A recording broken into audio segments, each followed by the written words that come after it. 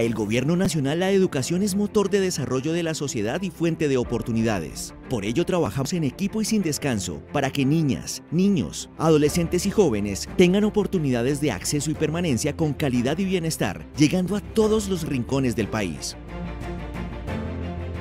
De esta manera, se asignó a la educación el mayor presupuesto de la historia, pasando de 38 billones en 2018 a 47,3 billones en 2021. También educación es el segundo sector en ejecución de regalías con más de 2 billones y se han ejecutado 257 mil millones mediante obras por impuestos. En respuesta al reto generado por la emergencia sanitaria, pasamos de la educación en casa a la alternancia y ahora avanzamos en el regreso con presencialidad, asignando los recursos para los protocolos de bioseguridad y mejoramientos, avanzando a toda marcha en la vacunación masiva de maestros y directivos y trabajando con la comunidad educativa para el retorno seguro a las aulas. En primera infancia, logramos la mayor cobertura, atendiendo a 1.596.431 niñas y niños con educación integral. La jornada única pasó del 12% en 2018 al 17,04% en 2021 y continuamos avanzando para alcanzar la meta. Y en doble titulación, 276.766 jóvenes obtuvieron su certificado técnico con el grado de bachiller. Mejoramos y fortalecimos el programa de alimentación escolar, incrementando en un 50% los recursos asignados. Creamos la unidad especial de alimentación y trabajamos por la calidad y la cobertura del programa. Igualmente transformamos la infraestructura educativa con una inversión de más de 4 billones de pesos, brindando hacia niñas, niños, adolescentes y jóvenes más y mejores ambientes de aprendizaje. Comprometidos con la comunidad educativa, brindamos mayores oportunidades de formación a maestros y directivos, apoyando a la fecha más de 107.933 de ellos. Se realizó el incremento salarial para cerrar la brecha. Se hizo realidad la bonificación docente e igualmente se realizó la evaluación y ascenso, así como los programas de bienestar y acompañamiento. En educación superior adicionamos 4,5 billones para más y mejores oportunidades de calidad. Y hoy es una realidad la matrícula cero para estudiantes de estratos 1, 2 y 3 de las universidades públicas del país. Además de la creación del programa Generación E, que hoy beneficia a más de 200.000 jóvenes con sus componentes de equidad y excelencia. De esta manera, avanza la educación en Colombia y seguimos comprometidos para continuar apoyando la construcción de los proyectos de vida de nuestros estudiantes y sus familias, porque en Colombia la educación es de todos.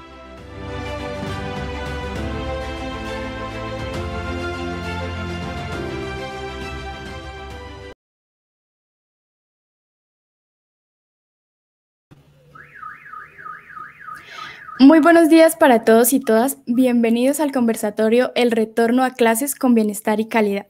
Mi nombre es Juliana Mateus León y como joven me siento muy contenta de dar apertura a este encuentro que se enmarca en los eventos de la conmemoración de la Semana de la Juventud. La Consejería Presidencial para la Juventud durante toda esta semana tendrá una programación y actividades dirigidas a lograr el posicionamiento de la agenda de juventudes a nivel nacional. Hoy abrimos estos espacios con una temática muy importante, la educación.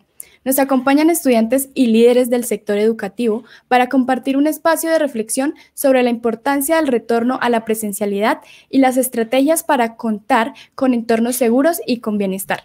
Sin más preámbulos, dirijo un saludo muy especial a nuestros invitados.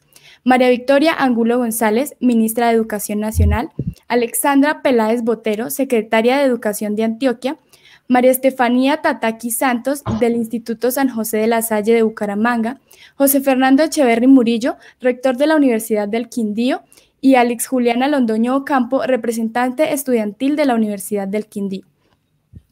Iniciemos entonces el primer bloque de esta poderosa conversación hablando sobre la importancia del regreso a la presencialidad con bienestar y calidad de la educación primaria, básica y media. Ministra María Victoria Angulo. En el país, los jóvenes estamos viviendo un retorno a nuestros colegios y universidades. Esto nos llena de felicidad y para muchos de nosotros implica un reencuentro con nuestros amigos, con los profes, pero también es ver cómo nuestras metas y proyectos de vida serán desarrollados gracias a una educación inclusiva y de calidad que solo se puede garantizar en la presencialidad. Cuéntenos entonces cómo avanza el proceso del regreso a la presencialidad en el país, cuáles son los principales retos que afrontamos y cuáles las oportunidades que tenemos. Bueno, buenos días, Juliana. Un saludo muy especial. Un saludo, querida secretaria Alexandra, querido rector, y también a María Estefanía y Alex Juliana, que se encuentran con nosotros presentes. Como tú decías en el saludo, creo que quienes expresan genuinamente la alegría son los niños, los jóvenes, toda la comunidad educativa y los maestros. Puedo contarles a todos que se ha hecho un esfuerzo enorme con los secretarios de educación para dos temas. Primero, vacunación masiva de los maestros. Segundo, adecuación de protocolos de bioseguridad. Al momento ya van más de 86% de las 96 secretarías eh, iniciando e iniciando con presencialidad.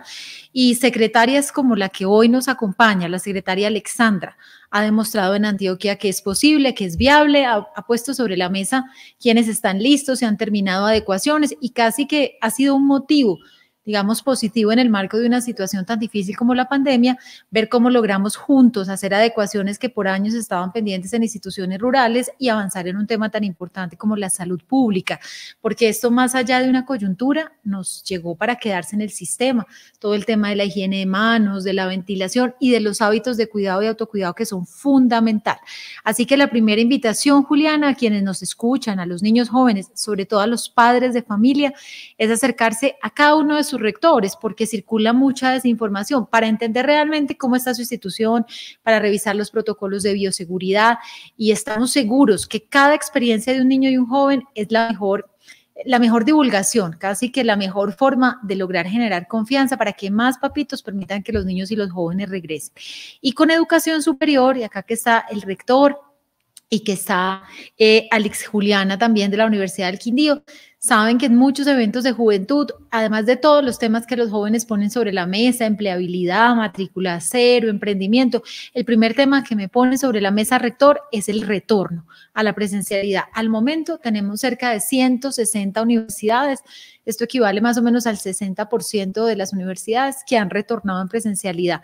Y esperamos que muy pronto, esta es una noticia importante, en el mes de agosto, como lo ha dicho el ministro de Salud, se pueda terminar la vacunación con jóvenes, es decir, se dé apertura de 20 a 24 años, pero además se dé apertura a los jóvenes mayores de 12 años. Estamos a la expectativa en este mes de agosto, cuando el señor ministro lo anuncie, pero esta noticia también va a ser muy positiva para nuestras comunidades académicas y yo quisiera resaltar que no olvidemos lo fundamental que son los derechos de los niños y los jóvenes. ¿Y por qué lo traigo a colación, Juliana?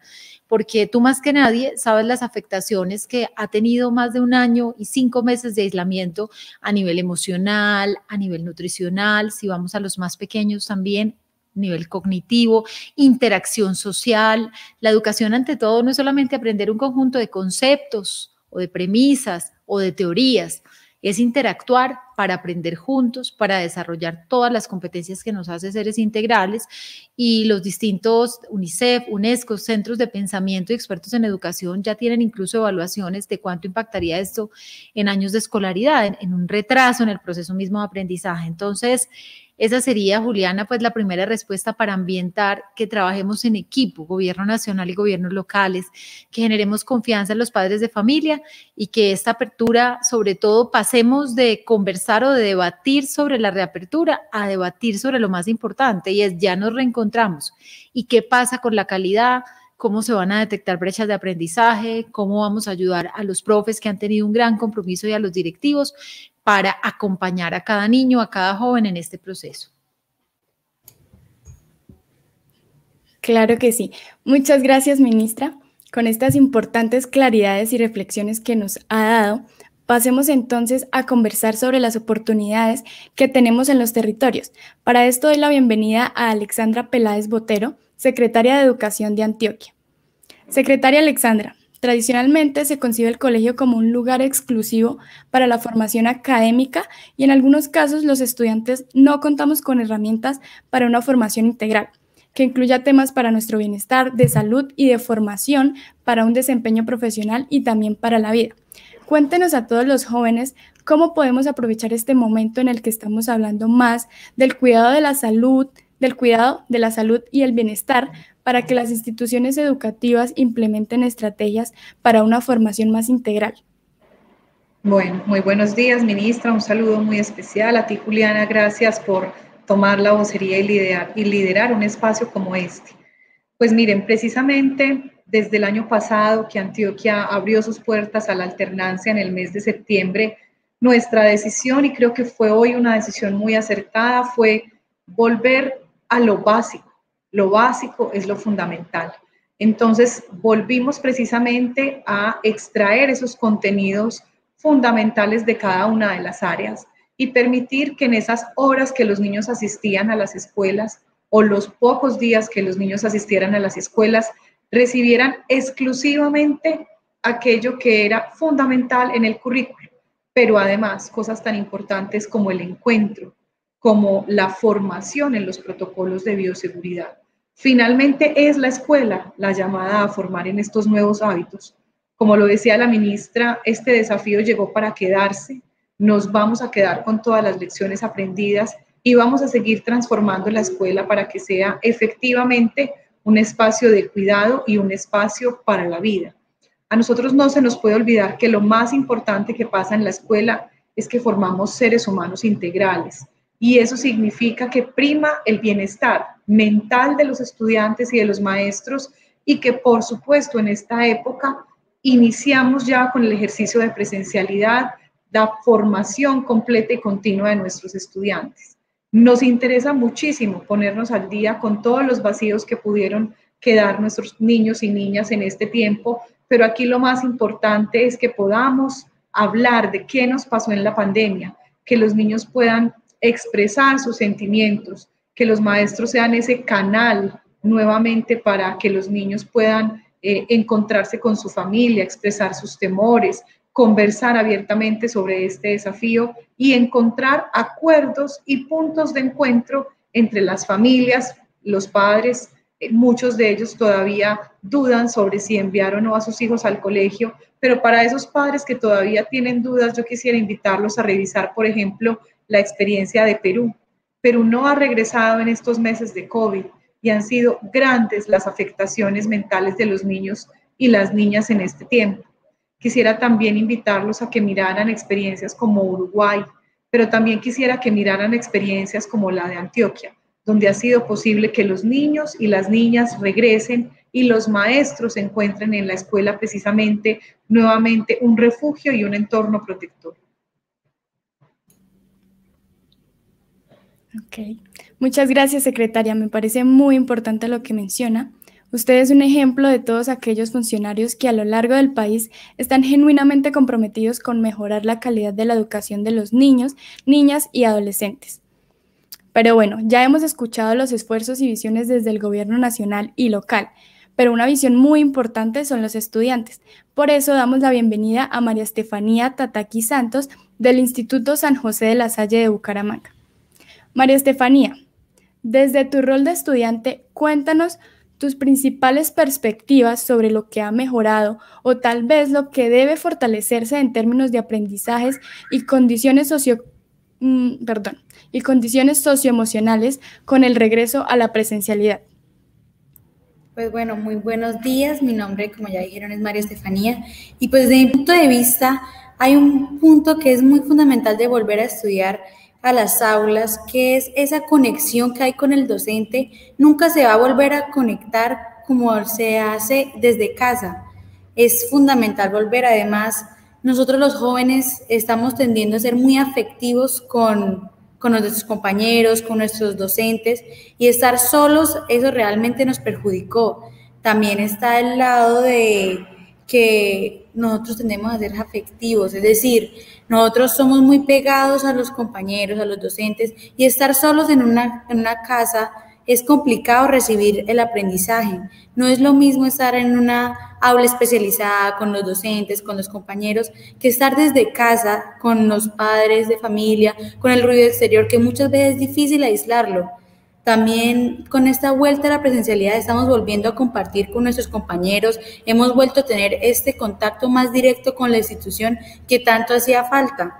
Eh, y muy importante, estamos necesitando una responsabilidad. Cada uno de nosotros que está en la presencialidad está aceptando el reto y este reto es la corresponsabilidad. Cada uno de nosotros es el responsable del lavado de manos, la desinfección, el lavado constante de manos es la clave, usar el tapabocas en todo momento y saber utilizar los espacios.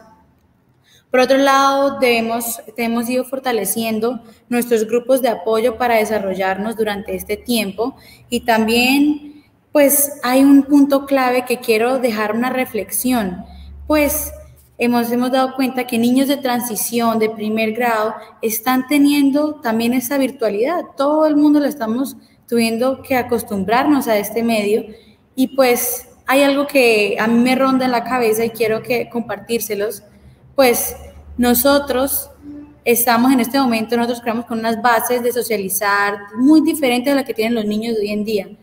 Los niños de hoy en día no conocen qué es un ponchado, qué es un escondite. Y realmente es triste saber que esos niños no van a tener las bases para socializar en un futuro. No me quiero imaginar cómo van a ser las promociones que van a ser totalmente pegadas a una tecnología. No van a conocer los juegos que son físicos de contacto. Y sí, es cierto, como mencionaba anteriormente la ministra, el tapabocas ha llegado para quedarse. Es nuestra nueva normalidad y vamos a tener que adaptarla por el resto de nuestras vidas, es lo más probable. ¿Por qué? Porque esa es la nueva normalidad y van a seguir apareciendo nuevos virus y nuevas enfermedades. Muchas gracias.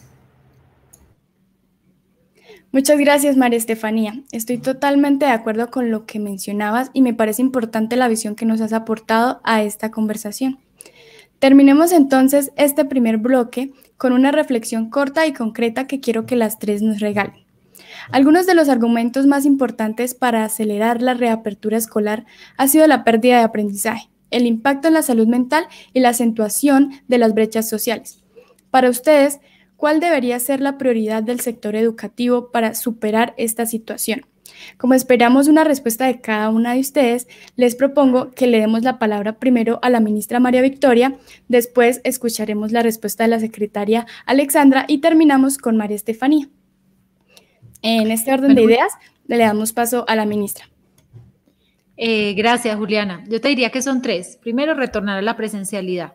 La segunda es, en paralelo, como lo sabe la señora secretaria, aprovechar esta oportunidad también para ir mejorando infraestructura, que el retorno a la escuela también traiga muchos otros proyectos que hemos venido preparando. Y la tercera, centrarnos en calidad. Lo han dicho todos quienes me precedieron en la palabra y es que estas brechas de aprendizaje, como dice la secretaria, primero hay que reencontrarnos cómo vivimos la pandemia, cómo estamos, cómo reencontrarnos emocionalmente con el proceso de aprender pero luego y con mucho ahínco trabajar en esas brechas, porque sabrás tú, Juliana, que todos los estudiantes obviamente anhelan su examen saber 11, el ingreso a la educación superior, su proficiencia en tercero, quinto, séptimo, noveno, en fin. Entonces viene evaluación, viene evaluar para avanzar y sobre todo un trabajo muy cercano de los maestros con los estudiantes y con sus familias, que además las familias eh, con ocasión a la pandemia se acercaron mucho más a los establecimientos educativos y tenemos que aprovechar esa sinergia y esa cercanía para este proceso y este semestre que es tan importante en este retorno a la presencialidad. Claro que sí. Muchas gracias, ministra. Continuamos con la respuesta de la secretaria Alexandra. Bueno, yo creo que la presencialidad es una oportunidad de volvernos a mirar con nuevos ojos. La presencialidad nos va a permitir, por supuesto, reactivar muchísimos programas e inversiones que el gobierno no había podido eh, establecer en este tiempo de pandemia. Venimos muy fuertes con las redes pedagógicas, con la formación de maestros, con todas las revisiones curriculares, con las readecuaciones de los proyectos educativos institucionales, muchísimo también con las inversiones en las, en las infraestructuras educativas. Antioquia ha hecho un gran esfuerzo con el sector privado y el gobierno nacional ministra para invertir más de 100 mil millones de pesos en estos 15 meses en la dotación y adecuación de la infraestructura educativa, pero también permite la formación para el trabajo y el desarrollo humano, las dobles titulaciones, el ingreso precisamente de programas de educación superior, la universidad en el campo, la alianza aérea, es decir, que se despegue todo el proyecto y los planes de desarrollo nacional y departamental.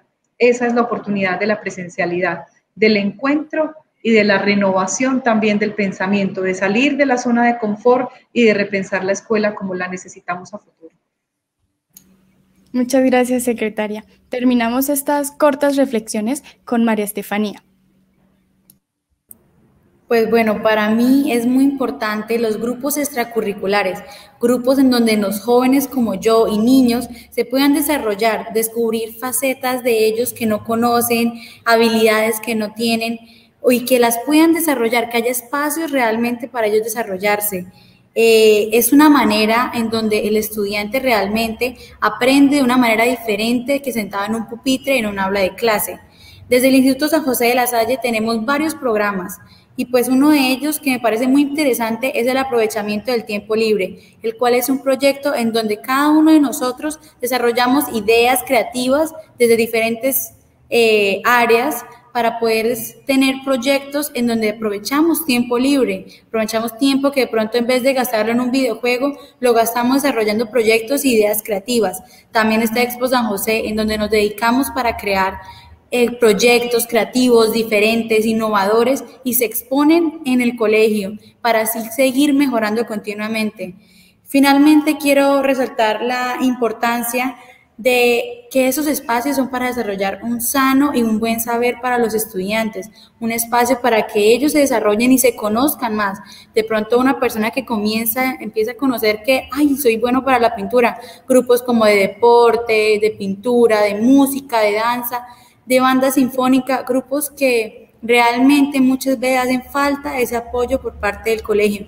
Para mí esa es la mayor importancia. Y finalmente, por medio de esto se puede recuperar la salud mental y los vínculos sociales que es muy probable que se hayan perdido durante la pandemia. Muchas gracias.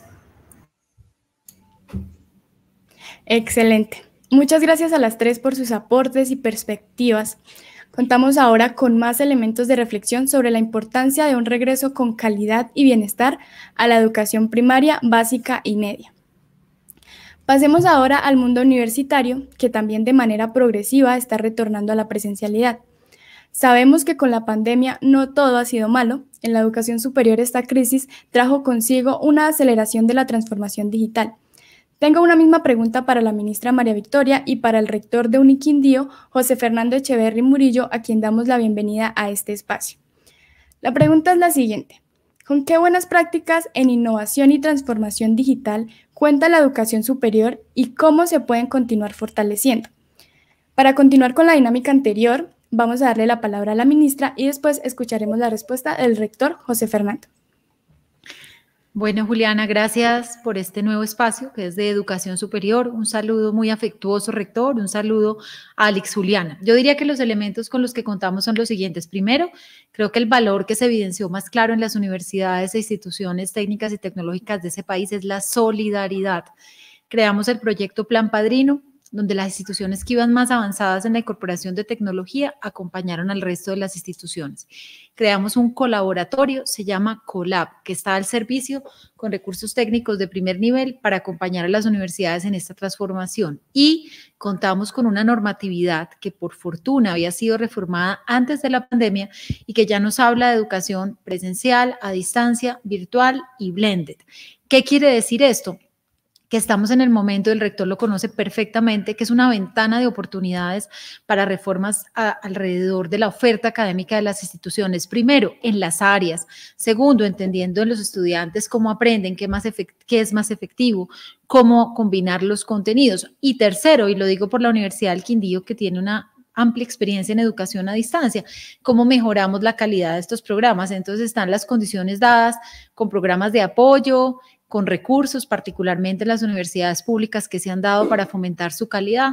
Y tercero, con una escucha muy activa a los jóvenes de entender cómo con esta oferta no solo llegamos a las capitales del país, sino que sea esta la oportunidad, con todo el apoyo además de matrícula cero y otros programas, para llegar a otras regiones del país, Juliana, que también anhelan tener una oferta de educación eh, superior. Sin olvidar que vamos a tener durante este año y el otro cambios importantes y es el proyecto de conectividad, donde la ministra Karen Abudinem espera dejar conectado el 70% del territorio. Eso puede ser un activo que bien pensado con las instituciones de educación superior da pie para tener una oferta que pueda llegar de forma creativa, alternativa y con tecnología a las distintas regiones del país. Bien, muchas gracias, ministra. Ahora le damos paso al rector José Fernando para escuchar su respuesta.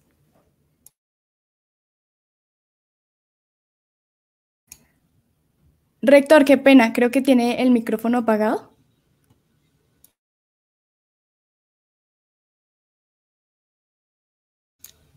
No le escuchamos.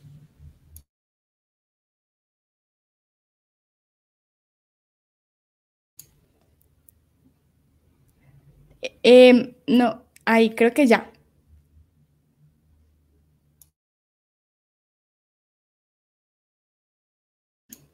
Ahora sí. Sí, señor, ya. Eh, muy buenos días, Juliana. Señora ministra, un placer estar con usted nuevamente en estas actividades. Alice Juliana, líder estudiantil Uniquindiana, un cordial saludo.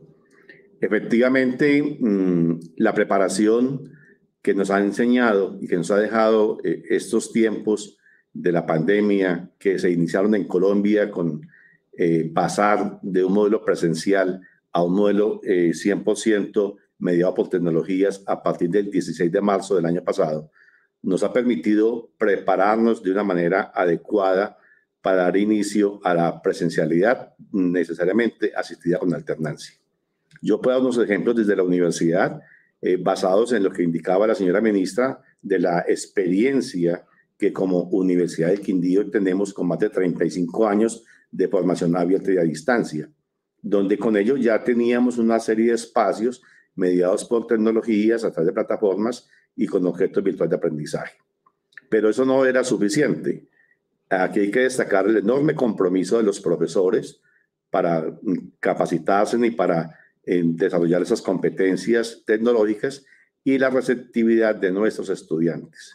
Esos dos elementos permitieron llevar a cabo un muy buen desarrollo eh, mediado por tecnología, eh, finalizando el primer semestre del año pasado en lo transcurrido en el segundo semestre y lo que va de este año.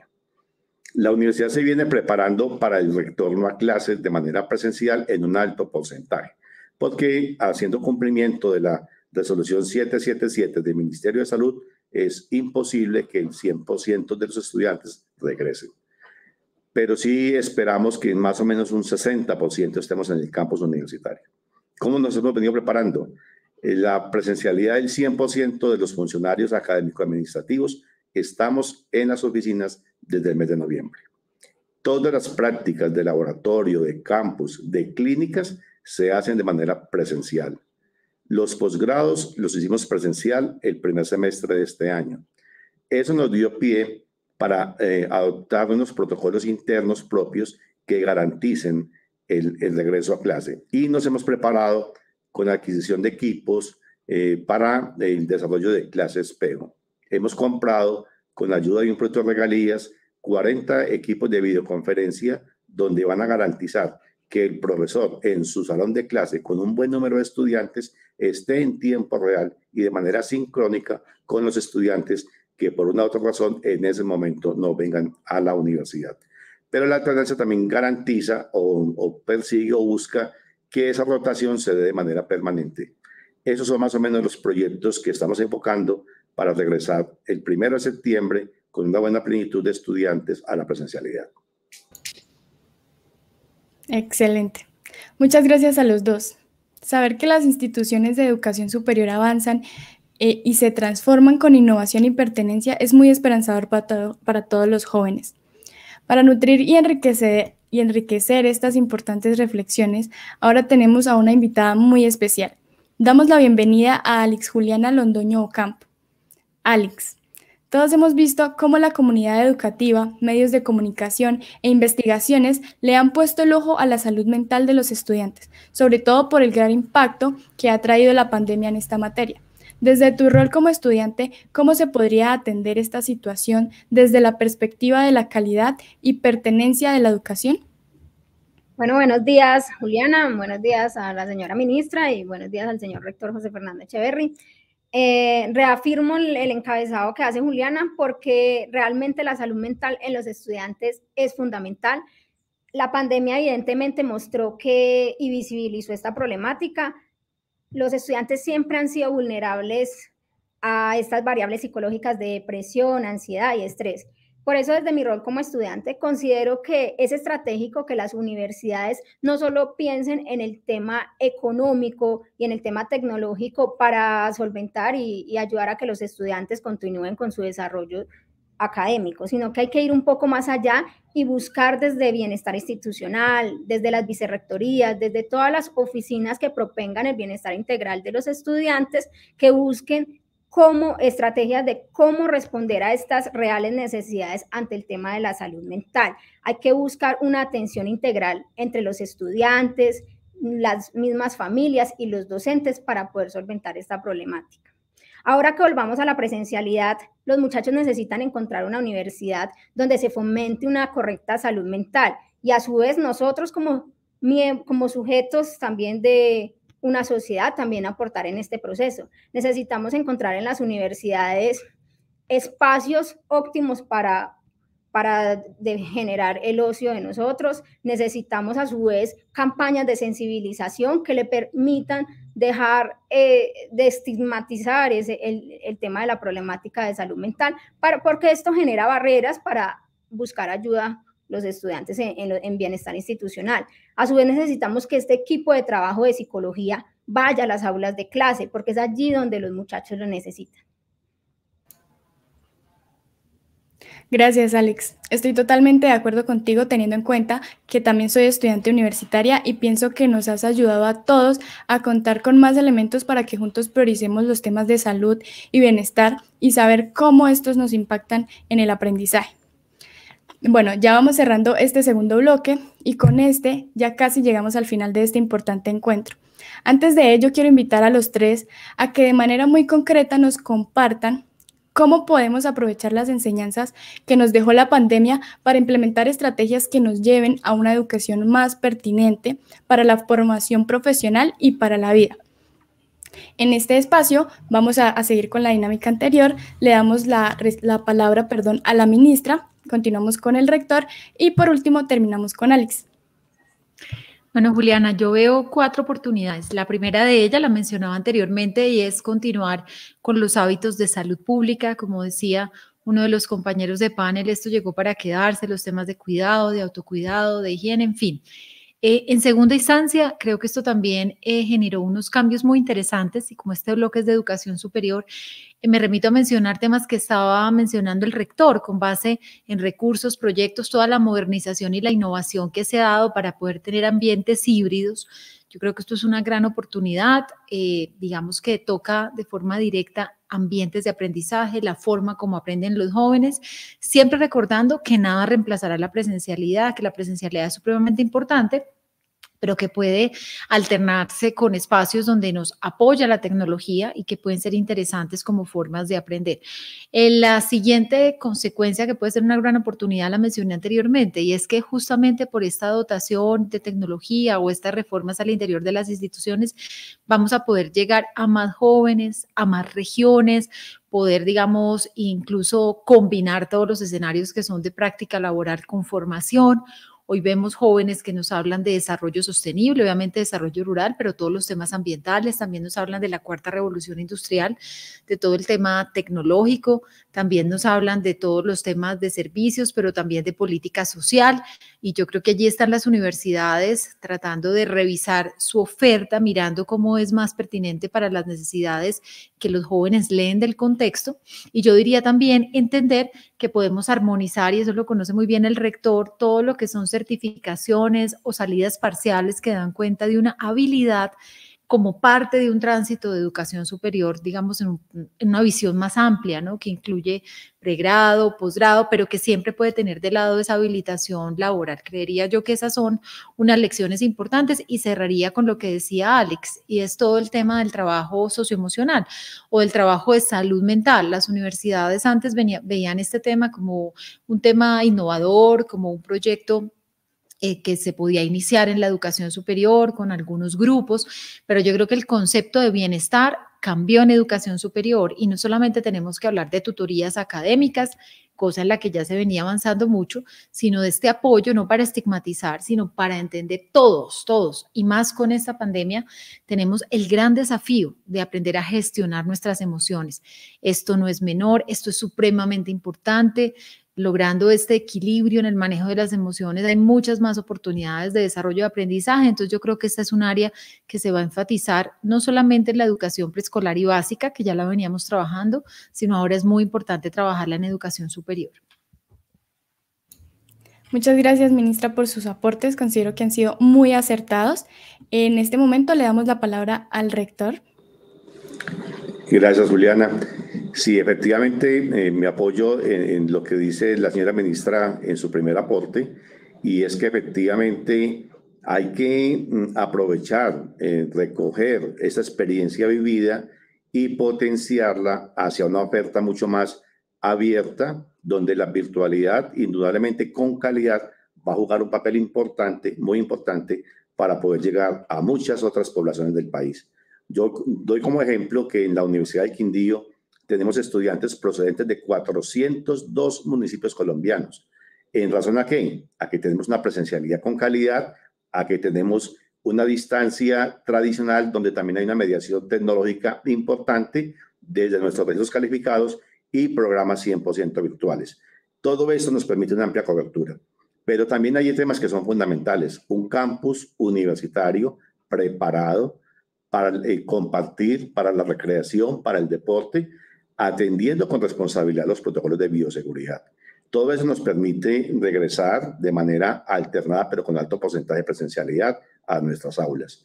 Y otro aspecto que es vital, generar confianza.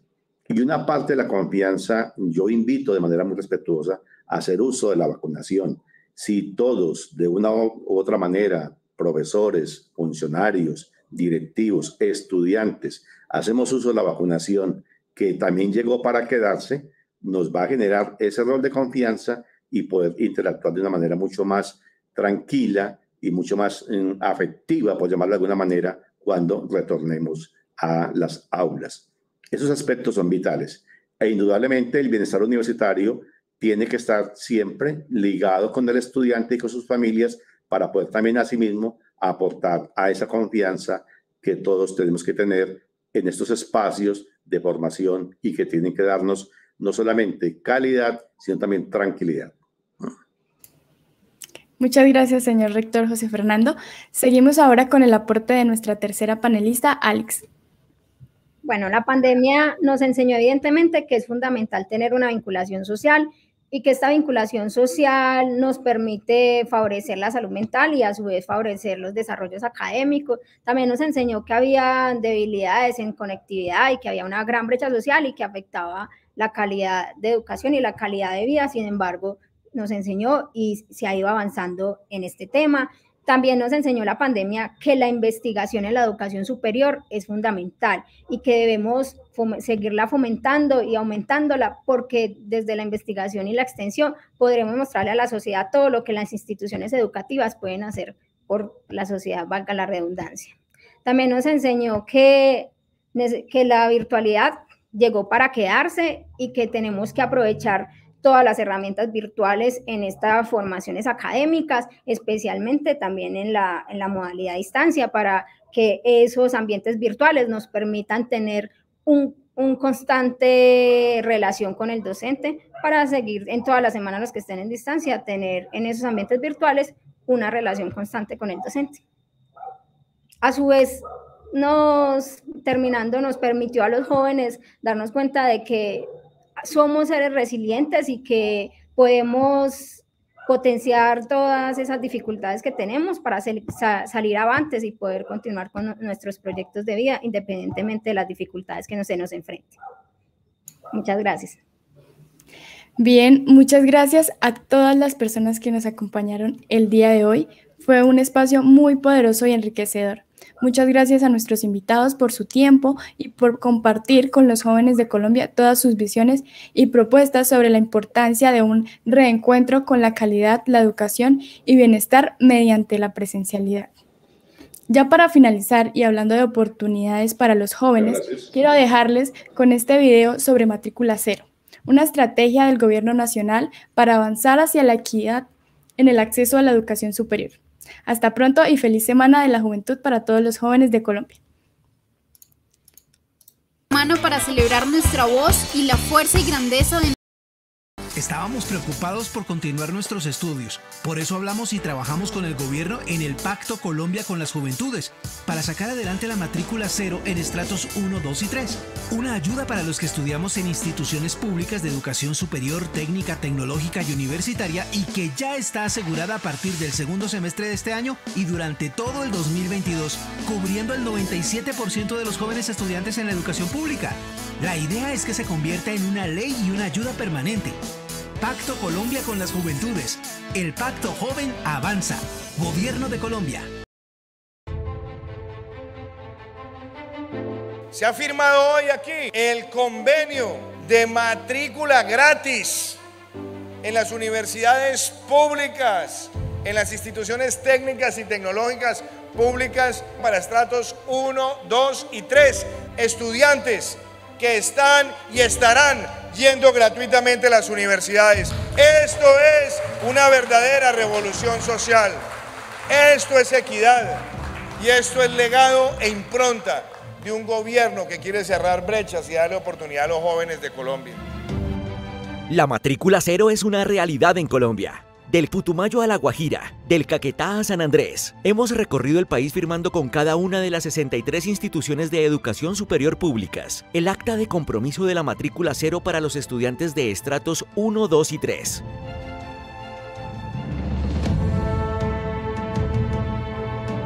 Vamos a estar en la vanguardia de los países afortunados en que financian la educación superior de sus futuros líderes y gobernantes. Pero la gratuidad es por supuesto un elemento muy importante en la permanencia y ha logrado en el caso de nuestra universidad que no haya deserción. La firma de este acuerdo entre el Ministerio de Educación y CETES y la universidad nos garantiza y nos permite dar parte de tranquilidad a todas las familias que tienen sus hijos de estrato 1, 2 y 3 estudiando en nuestra universidad. Esa es una forma de expresarle a los estudiantes que reconocemos que ellos son el centro de la razón de ser de las instituciones de educación superior. Esta iniciativa es posible gracias a la unión de esfuerzos entre el Gobierno Nacional, las entidades territoriales y las instituciones de educación superior públicas, y responde a las necesidades de nuestros jóvenes, brindándoles así más oportunidades para consolidar sus proyectos de vida y los de sus familias. Es una pasión, que es un amor que tengo desde pequeño, lo de la música. No tener que pagar por mi matrícula fue una bendición para mí, para mi familia. Aplaudo desde el liderazgo que tiene la gobernación y el ministerio y secretarios lo que están haciendo por nosotros. La inversión total en este semestre serán 600 mil millones de pesos que permitirán que más de 695 mil estudiantes en todo el país tengan la matrícula cero. Para todos los estudiantes de estratos 1, 2 y 3 que hagan parte de las instituciones públicas y que lo que estamos haciendo es ir justamente con el consejero de juventud, donde los jóvenes, a honrarles la promesa y hacer el lanzamiento de la noticia desde el territorio. Yo creo que los jóvenes han transitado de estar en la indignación a pasar a las acciones y por ende a las propuestas. Es una ruta que hay que acompañar, en la que hay que trabajar muy de la mano con ellos, pero que sobre todo el presidente Duque lo ha dicho. Este no es un diálogo coyuntural, es un diálogo que tiene que ser permanente. Con la firma de estos acuerdos, el gobierno del presidente Iván Duque continúa honrando los compromisos adquiridos con los jóvenes y sigue trabajando para hacer de la matrícula cero una política de Estado. En Colombia hacemos equipo por la educación.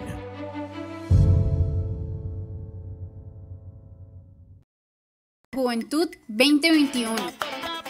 Del 9 al 14 de agosto. Una semana para celebrar nuestra voz y la fuerza y grandeza de nuestros sueños. En la construcción conjunta del Pacto Colombia con las Juventudes planteamos ideas y propuestas. Nos sentimos escuchados en temas fundamentales de los que estaremos hablando. Lunes 9, educación.